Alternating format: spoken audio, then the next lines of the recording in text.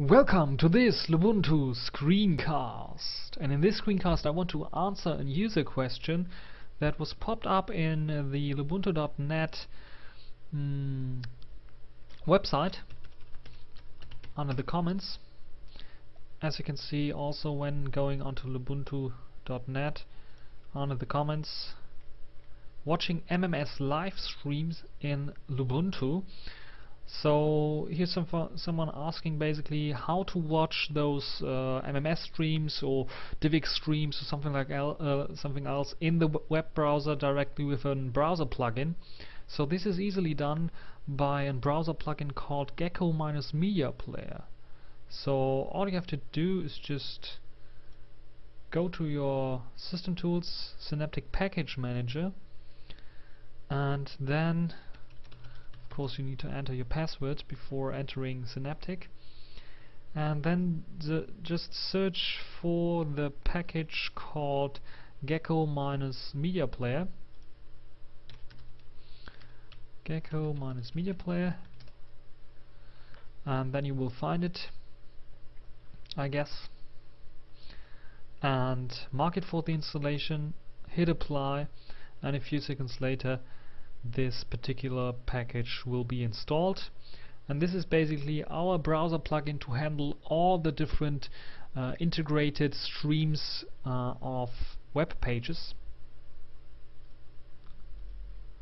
So to check if it's running all you need to do is just go to your web browser. In this case I'm using the Chromium default web browser coming with Ubuntu. And type in about plugins which will lead you to a site which tells you which plugins are available for this particular browser.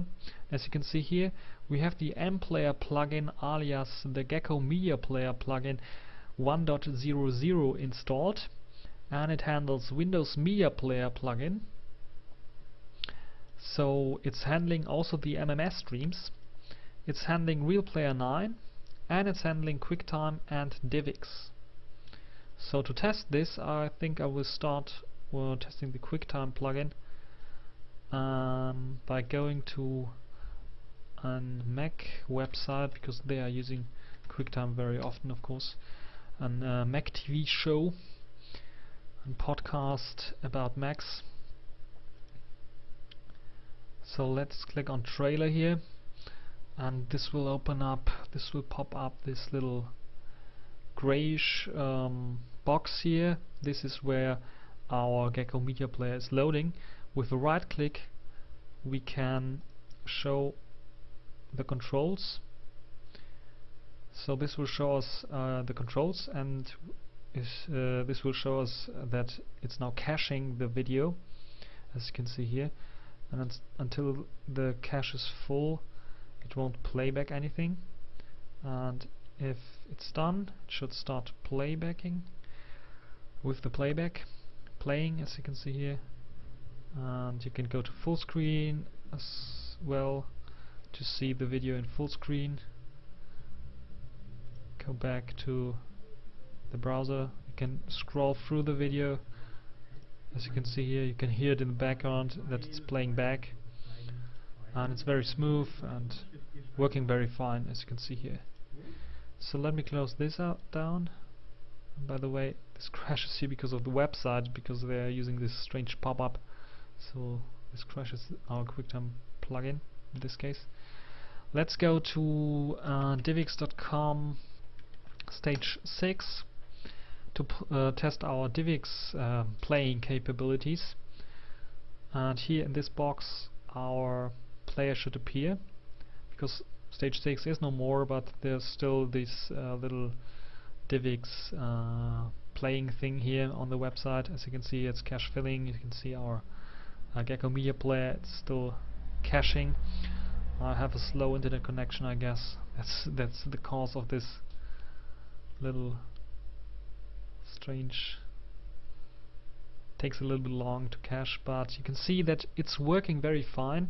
And, you, and if you have any problems like and pictures not playing back you have only audio or something just go to full screen and then just go back to um, the, your normal screen and this should work very very fine. Also you can uh, go to the preferences here. And this will open up the preferences uh, basically of the GNOME player and what you can do is just here set the video a different video output format if you have any regressions with uh, the one you have chose uh, or that the player has uh, chosen automatically.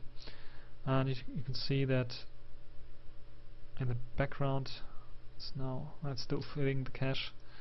You have some other options like open files uh, which does not make any sense here but you can copy the location as well and as you can see now it's playing back here.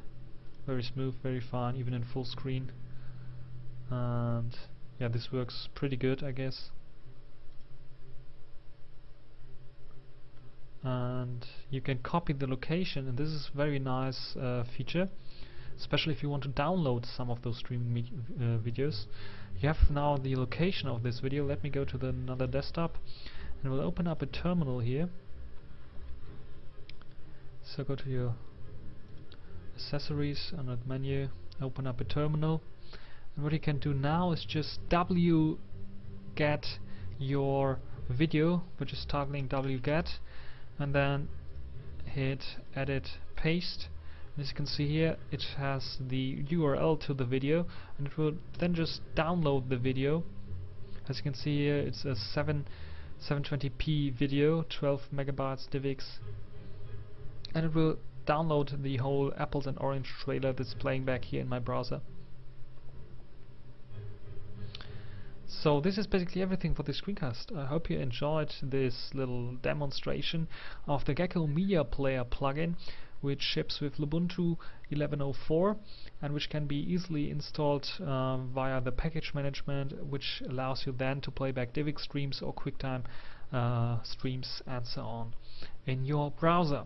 I hope you enjoyed this screencast and yeah, thanks for watching.